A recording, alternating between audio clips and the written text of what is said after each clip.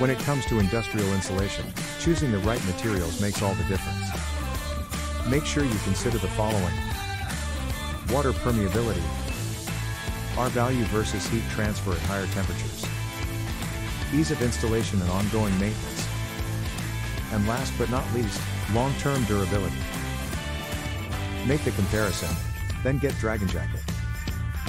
Cost effective, efficient, customizable, insulation solutions for pipes, tanks, and more. For more information visit dragonjacket.com.